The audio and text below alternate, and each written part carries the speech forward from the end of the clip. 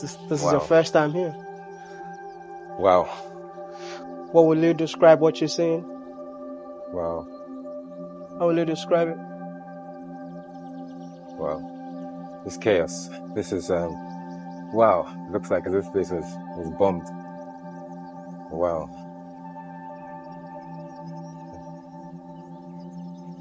The debris. You know, the last time I stood on this sta- staircase, there were probably two to three thousand people out here. People having fun, children, adults, old people. So much activity, the golf carts running up and down the boardwalk, moving people around. Look at it, looks like a war zone. You finally gathered the confidence to see the demolition for the first time. Yeah, I don't know whether I really wanted to do this. Um... If you want to hear how a government of a country prioritizes the destruction of investment rather than building it, then look no further. What you're about to watch is a story of how a government of a country that is here to draw any foreign direct investments is assuming office destroyed a $200 million tourist center.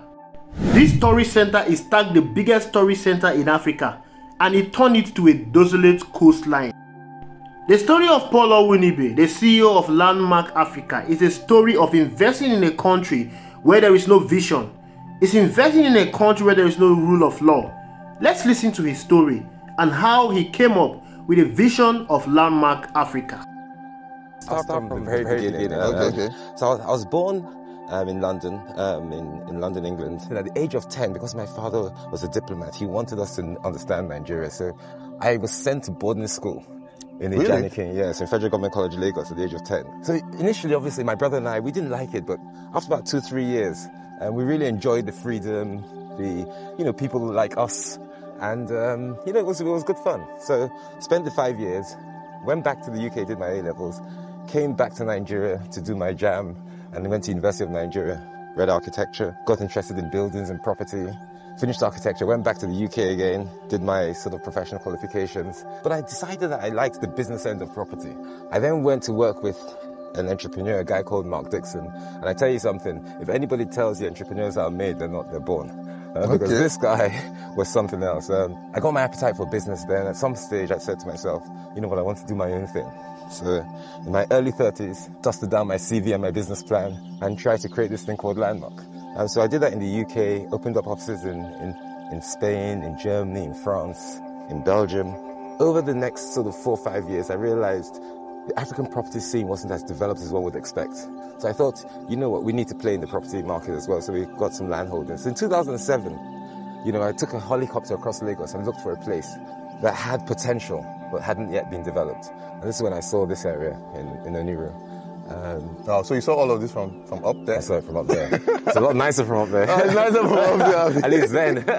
um, saw it all from up there. So we dusted out the business plan and we said, you know what, what does Africa really need? We needed to find a way to, to create something, um, you know, so there was a lot of crime at the time, there were infrastructure issues, there were resource issues. So we thought if you put everything in one place, then people wouldn't have to go anywhere. So mm. that was the idea, is to create a business, leisure, and lifestyle destination. You know what they say, the opportunity of a lifetime can only be realized in the lifetime of that opportunity. Hmm. So if you if you wait too long, the same opportunity may be there, but it's not. It doesn't have the same um, makings of it.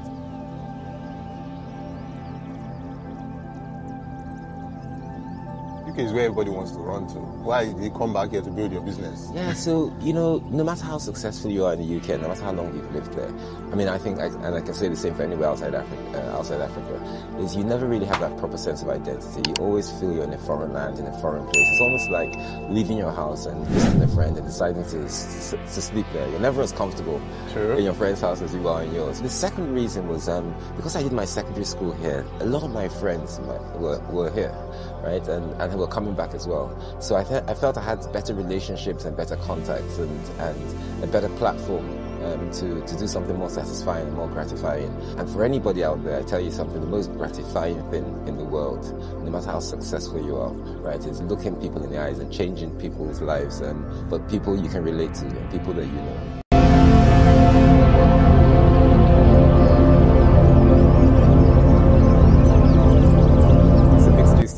So on downstairs there's retail, then there are offices, there's a hotel, and there's residential, and there's a leisure deck as you can see. So that was trying to prove our philosophy in one building. So after that, um, we built the proper event center. Then we built an extension to it, and we built the retail boulevard, what we call our retail boulevard. And in that, it houses medical facilities, it houses an educational facility, shops, restaurants, bars, offices. Even CNN are in there. So this place is just an ecosystem, and when you come here, you don't need to leave. That's the idea. You don't need to leave. But by the time we finish, um, really in front of where we're standing, we're about to build. Um, a residential tower and, and a hotel. Most times when people see stuff like this in Africa, they usually feel it's like some white guy that is behind it. Europe and America are not, uh, they're not easier than Africa, by the way. They have their own challenges. They're just very different challenges. And we, we had some very strong challenges. So one of the things I, I made up my mind when, when coming to Africa, I said I wanted to create a business in Africa for Africans, run by Africans. Wow. Right? And that's what we do. We, we don't have any foreigners working for us. Everybody's African. Talking about challenges, what are some of the challenges you Oh God, it's a lot. If I could change one thing in Nigeria to be that environment, that enabling environment, I'll create the handshake between the public sector and the private sector because, you know, um, the leverage the public sector can give the private sector to grow businesses, you know, in geometric proportions is immense, and they have to do very little things. You know, from registering a company in the UK, it takes you seven minutes. Here, it could take you seven months. Um. It's a little bit better now, but it's still taking a long time. And someone tells you you have to go to Abuja. Why do you have to go, go somewhere to, to do something, right? Exactly. right? The biggest challenge we faced here is before we put a stone in the ground, we had probably spent 20% of the money that we've used to develop this whole space. We probably spent 30% of the time as well. It took us three years to put the stone in the ground because it took us two and a half years to get the first planning consent. Then you have infrastructure issues. So there are no roads, there's no water, there's no electricity. Can you imagine everybody has lights inside their house and there are no lights in the streets. Everybody has water in their house and there's no running water in the streets. The next issue is, is human resources. One in every two young people you meet are in a hurry, right? Um, and, um, you know, you, you require patience to build businesses. You require patience to do a good job, and you you should always wait your turn. So, like, how many people do you have hired, like, working in bank? All right, so we have different levels and structures there, but so in, in what I would call my um, core team, yes, I think there are about 80 people. 80 people? Yeah, and yeah. that's not everybody? No, that's not everybody. No, no, there are probably about four, five hundred. Um, five hundred people in the, in the support services as well, right? Wow. Not, not, five hundred people working, and and there are probably about two to three thousand people across the ecosystem, or the, all the businesses generate. So there are fifty nine wow. business, businesses in this ecosystem. 59 businesses. 59 businesses. Wow. I see myself, I say to people, look, uh, I see myself as a global citizen, right? Okay. But um, I'm Nigerian to the core. Um, and Nigerian for the for the simple reason that I believe in Nigeria. And I don't describe myself as I'm from the west or the east yeah. or the north. Um, being around the country, most of my friends are from everywhere in, in Nigeria. There's this phrase people say, um, Africa is the future. What, what's your thoughts on Africa? Do without, you believe Africa is Oh, without a shadow of doubt. If you look at everything, just look at how the cards are, are stacked. Look at the demographics. It has more young people than anywhere else. Yes, maybe with the exception of the Far East. Look at the strength and the rigor and the hard work and the ethic of Africans. So when, you know, you see some of the bad stories, but when you see the good stories, the number of Africans that are prepared to work hard, they're intelligent, they're smart, they're creative, and they're aspirational. So you have that. Then you have land. I mean, you just have so much opportunity. I mean, you could sell sand or sell water and do well. Yeah. You wouldn't do the same if you're in Western Germany, right? So, so there's a lot of opportunity here, but you have to be creative and you have to have desire. Um, and if, if you ask me what's the number one thing that creates su- success, um, it's just pure desire.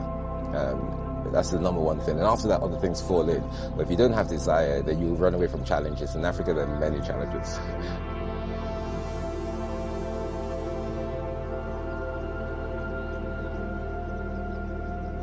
There are a lot of young people who are out there watching this currently now, okay. who probably are amazed by what you have built and who probably want to build something like this in the future. What's your advice to them generally?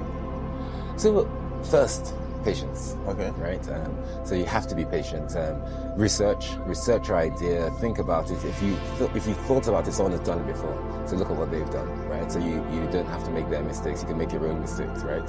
Um, the second is resilience. Um, don't give up. Um, you're going to meet a lot of challenges. Just be creative and resolve to be resilient. Right. The third is passion. Um, you must have passion for what you do. Don't do something because you think it makes money.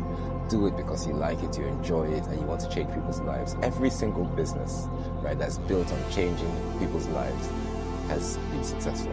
So if you focus on something that that changes people's lives and you're passionate about, you will do very well, right? And then lastly is is success is a journey, it's not it's not necessarily a destination. Tell yourself that you will do things the right way.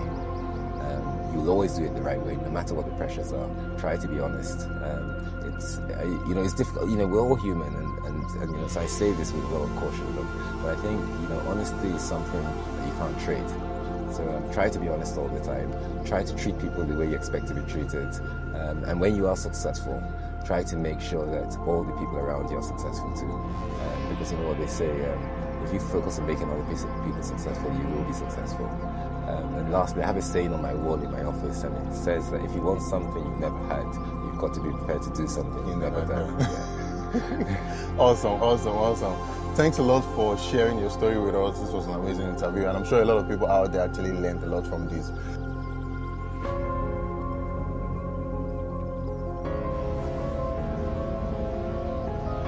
It's a pleasure to introduce to you the latest off-plan residential development, Landmark Waterview Apartments.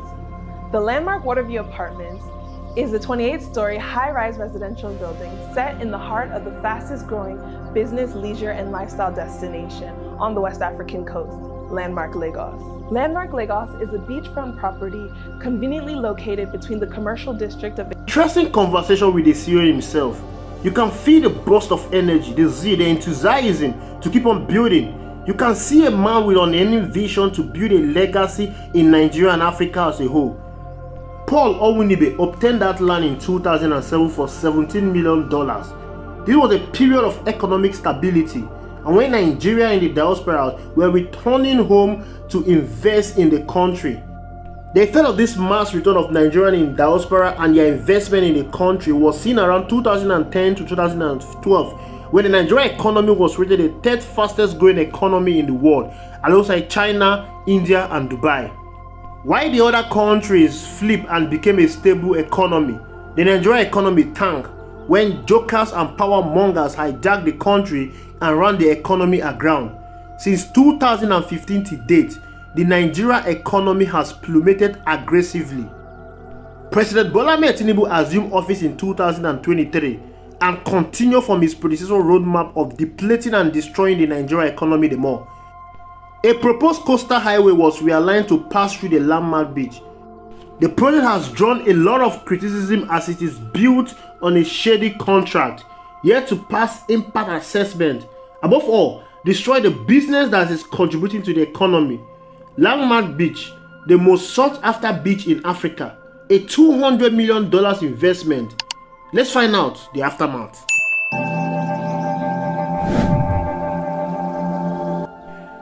Everything that Paul Onwuanibe suffered to build has been destroyed.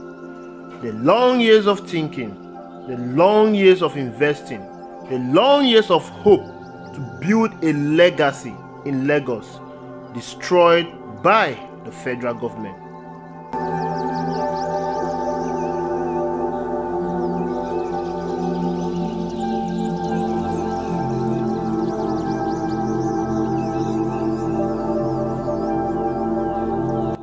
The 200 million most sought after beach resort in Africa has been turned to a desolate coastland within a twinkle of an eye.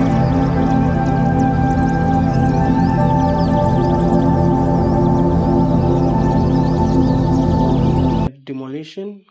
Yes. Have you ever been there to see what really happened?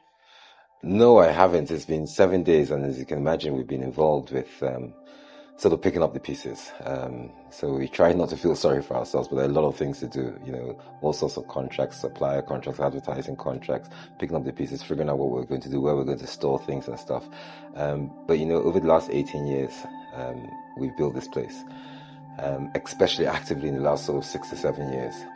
Um, it's not really something I want to see the destruction and the um, chaos of it at this point in time whilst we're still trying to rebuild. My, all of my attentions are on looking forward rather than the past.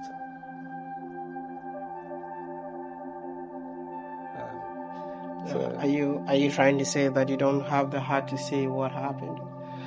Well, we don't know yet, but um, you know, people talk about mental state, and so far my mental state is still very good. Um, and I don't know whether this is what can trigger it. So I'd rather not just see the destruction now, so I can focus rather than um, focus on the past and and and get bitter. It's better for me to just focus on a bright future.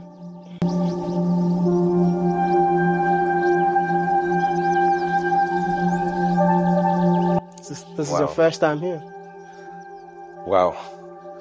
What will you describe what you're seeing? Wow. How will you describe it? Wow. This chaos. This is um wow. It looks like this place was, was bombed. Wow.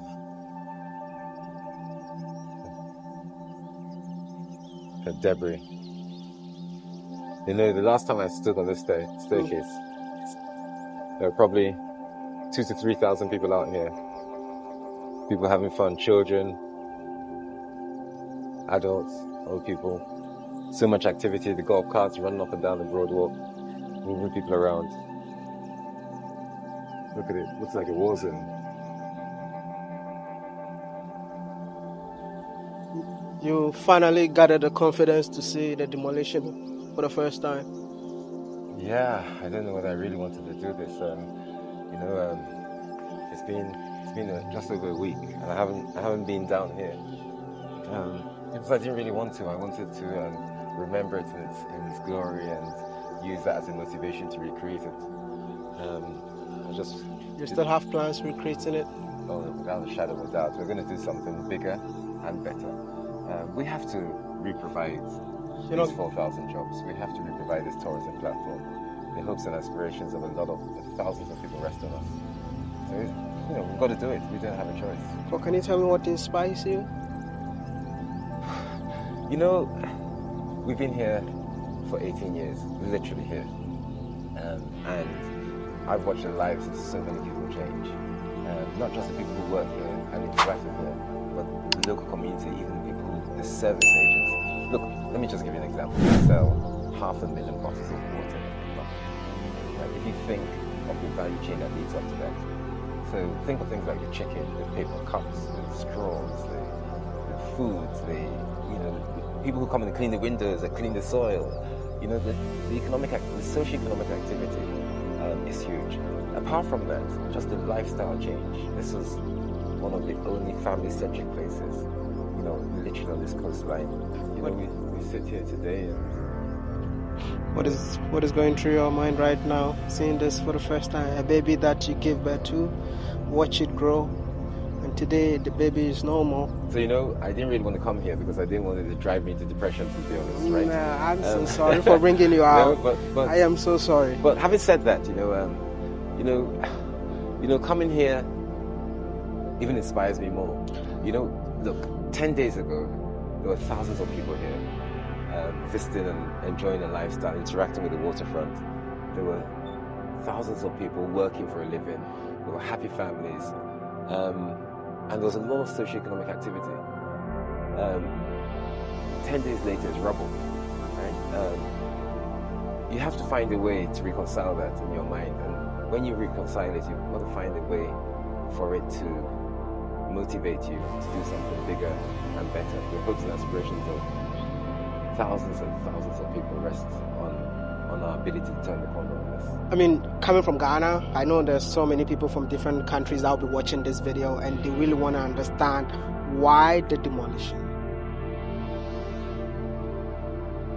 So it's simple. Um, you know, by the way, I've had three different African presidents call me to sympathize and to also invite me to their countries to, to do something similar, right? Yeah. Um, you know,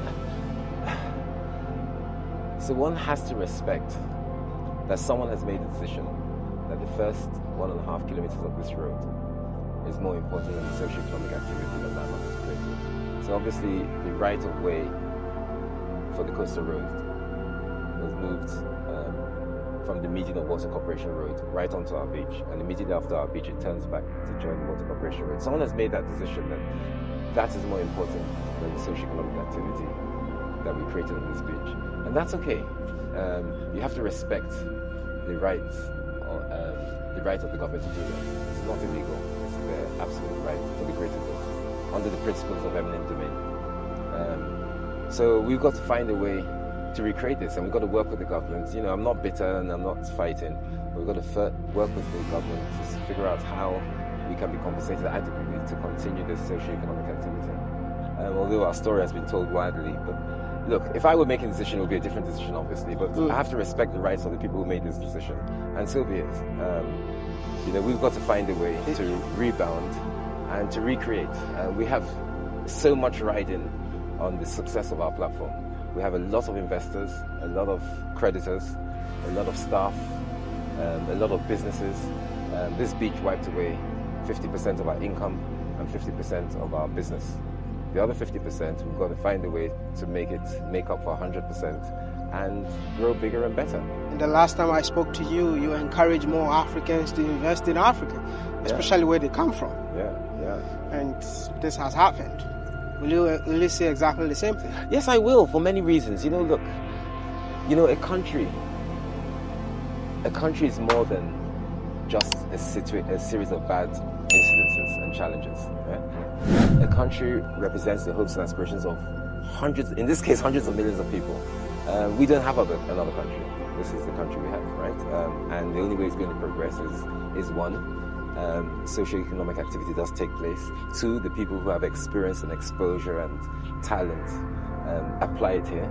Three is we ensure we always have good government and good governance and transparent and authentic processes. And um, and I'll say lastly, uh, we need to bottle up and ignite the the hopes and aspirations of, of all the citizens to just make sure this place is better. We, we have no choice. You're not um, giving up on Nigeria? Gosh, I tell you something. My first um, five minutes ago when you brought me out here, I looked at this and I thought, you know what, I should just go back to London. Um, no, no, no. I'm, no, it's I'm, all right. I can't. I can't see how I can give up on on, on Nigeria. Nigeria. I don't have another country. The questions that everyone is asking: Were you giving notice about the road? Yeah, no. Every everyone is asking. We got official. So you know, there've been rumors for a year or so. Um, but you know, when you're running a business like this, you have a lot of rumors, a lot of people in your ears and stuff. Um, but you know, we received official notice on the 19th of March we're given seven days to evacuate. I joked that I couldn't move out of my bedroom in seven days, right? Let alone a place you've created over 18 years. But um, you look, as I said, it is, it'll be less than realistic of me to criticize the decision that has been made that has passed. You know, we've now got to pick up the pieces and figure out how we we make hay while the sun is still shining. So how do we how do we do this for the rest of the business? But all the people who bought into Waterview apartment, we intend to deliver a, a sterling, you know, business leisure, leisure and lifestyle um, that when they when they come here to live, that they'll enjoy. And we need to make sure that all our remaining tenants and all our remaining infrastructure perform to the best of their ability. And we need to recreate this for all the jobs and, and the businesses that enjoyed it. So. Um, you have any way in mind in Nigeria to recreate this? We have three. We've looked at three different sites. Um, you know, um, all all in in in Lagos. Um, we have offers from three different state governments as well. Well, two of them um, incredibly serious. Um, we have um, agreements on the table to be signed um, to, to do this, um, both of them on the waterfront. we need to do something in Lagos. a lot of that will depend on how the government supports us with compensation to, to, to, to give us enough legs to create it. you know, as you know, we have investors and, and creditors who are jumping up and down, mm. right? So so we've got to figure out how we create some clarity and, and, and move forward. The question is, will you be compensated? Well, that's not a question for me, right? And we're in conversations. Look, over 42 billion naira of infrastructure has been damaged, has been washed away. Um, the income streams and, and the businesses here have all been washed away. Um, so all that has to be recreated, and I think someone somewhere has to make a decision whether they want to recreate it or not, right? our part is that we've made that decision to recreate it. Hmm. Uh, we do need help. Um, there's absolutely no business can lose what we have lost and and not feel it. So, so we, will see. We haven't been compensated yet, but we hope to. Your final message to um, Nigerians, especially landmark lovers? That well, the final message is: look, this is a disaster, and there are many disasters and there are many challenges. Uh, for us, it's a disaster. We're devastated, and we don't pretend not to be in pain. Having said that, we take this decision on the chin. We will need to work with the government and work with the stakeholders in the environment to create something bigger and better, um, and we will do that within the next 12 months. My hope is that if we do close on one of these um, sites that we've seen, we will create this leisure and lifestyle and beachfront somewhere else, and we'll be open by Christmas. Um, so, so watch this space, um, believe in us, trust in us, pray for us, support us, and um, we'll make sure we don't disappoint. We will deliver. The opportunity of a lifetime can only be realized in the lifetime of that opportunity, and that opportunity is right now.